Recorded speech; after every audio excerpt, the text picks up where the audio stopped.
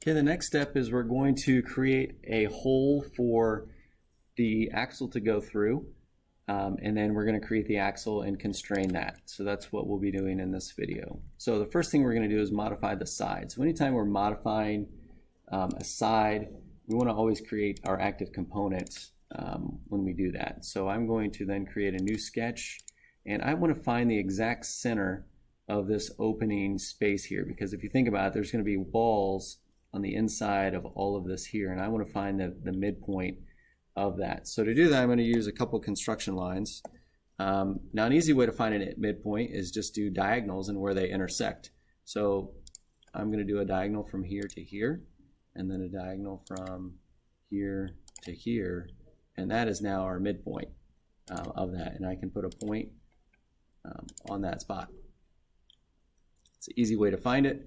Um, if I change this, which I'll show you, it should update and modify all of the things that we've created so far. So I'm going to stop the sketch. Um, I'm now going to use the hole tool and click on this. And uh, the hole that I'm going to put in here is, um, I'm going to do a 0.25 hole.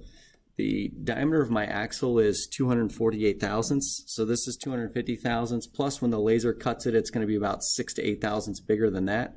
Um, if I need to make it bigger, I can go ahead and modify it um, a little bit later to give it a little bit more clearance, but I don't want it to be super slap, sloppy, but I want it to turn fairly effortlessly. So we'll go with 250, and then if we need to modify, we'll do that uh, once we cut it.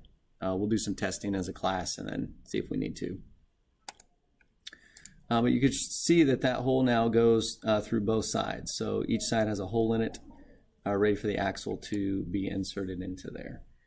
Um, now let's just do some testing. So if I do a modify, and let's say that I change the depth to four inches, we should see the feet change uh, length, but the hole stays in the middle there.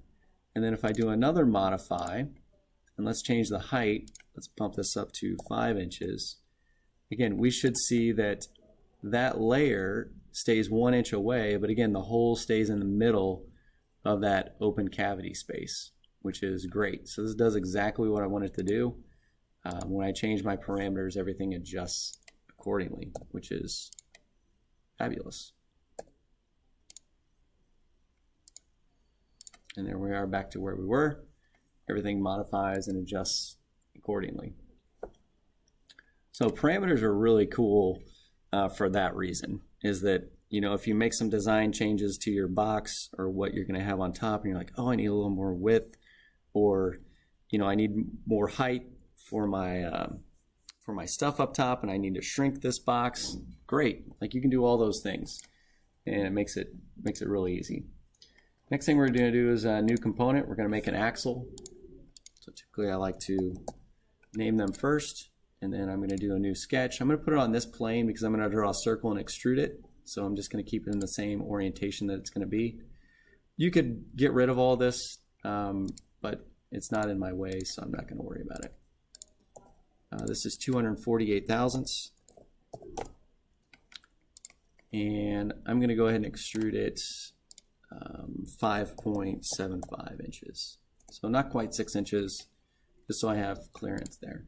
A couple things that I want to add to this. Um, I want to add a work axis through the middle, and then I want to add a work plane so that I can tell that it's rotating. So I'm going to go to Construct, Axis through Cylinder, click on the outside face. There's my work axis. I'm going to create a plane at an angle off of that work axis so it goes right through the middle. I'm going to leave it at zero degrees, and I'm going to shrink this up. So we don't, we don't need this big giant work plane. We just want to be able to see that when we click on it and move it, that it's actually rotating. Because it should be a, we're going to do a revolute um, constraint with this item. So um, now we're ready to constrain it. I don't want to see a lot of this stuff. I only really want to see this side. Um, so I'm going to get rid of, you know, looking at looking at these things.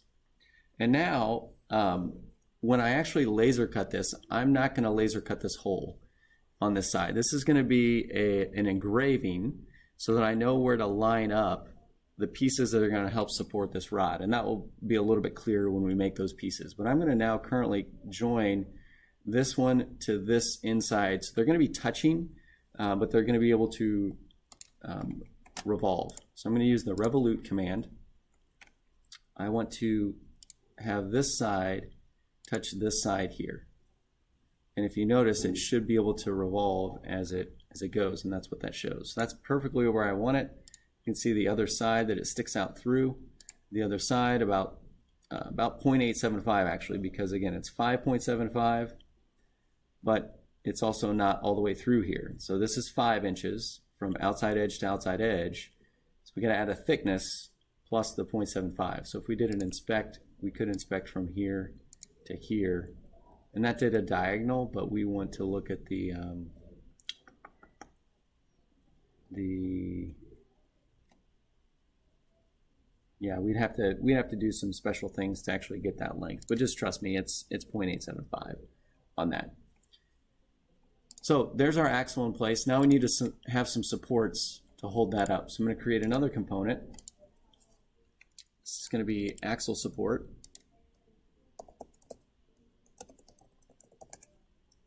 And again, I want the axle to freely uh, move inside of this.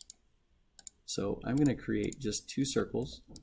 Inner diameter is going to be 250 thousandths, which is going to be the same as the hole that's in the side. And then this one is just going to be um, like half an inch. Um, I might make this three quarters just to give a little more surface area for glue. you'll see what I mean here. So when I extrude this, the thickness, we're going to place this thing right here. And what that's going to do is we're going to glue this to the back wall and this axle is going to insert into that and it basically supports the side of the axle. And then we're going to do a couple different, couple layers of that so that way it, you know, it doesn't fall out. And then we're going to put another one of these on the inside here, but we're going to glue it to the axle this time instead of the wall. That way the axle can't pull out. If it's got a glued disc sitting right here to the axle, when we try to pull that axle out, it won't come out uh, when we actually physically build our box. So I'm going to need three of these. I'm going to put two on the inside here, and then I'm going to attach a third one to the axle. Um, so let's do that. Let's do a copy. We're going to paste. And we'll just capture the current position. We'll just move that. And then we'll do another one. Paste remove it. And that should be good. So, don't want to see the axle, don't care about this side. We're now going to rigid constraint those two together. So, go to rigid. I want this rigidly constrained to that. And now if you notice it's not sticking out, so I'm going to hit the flip button to flip it. So not sticking where I want. And doing the same thing, another constraint, this one to this one. Again, got to flip it. So now it's sticking out. Perfect. And if I open this back up, we should now be able to see that the axle goes through there. Now again, the work plane's kind of a pain, but you can see that the axle goes through both of those, does not go through this. And now we want to constrain this one into here but you got to think about, okay, what's your spacing when I move this back over here? So if I constrain it to the edge, I need to move it back 0.875 plus another uh, eighth of an inch plus a little bit of a tolerance gap. So it's just going to be a little bit over an inch uh, when I move this back there. So I'm going to do another uh, constraint, um, a rigid constraint between this and this. And now I'm going to move it back.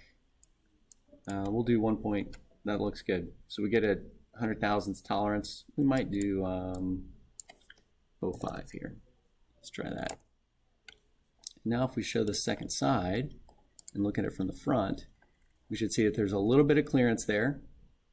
Um, so that if I tried to pull this axle out, it would stop it. It would only come with just a touch. Uh, we could make that less than 50 thousandths, but that gives us a little bit of clearance um, in that regard. Um, so it can move slightly, but not very much on that. Hopefully that makes sense. Uh, if we put the rest of the box together, we can, we can see that, um, that everything fits the way it should. And that's how we create an axle with supports uh, to hold it in place.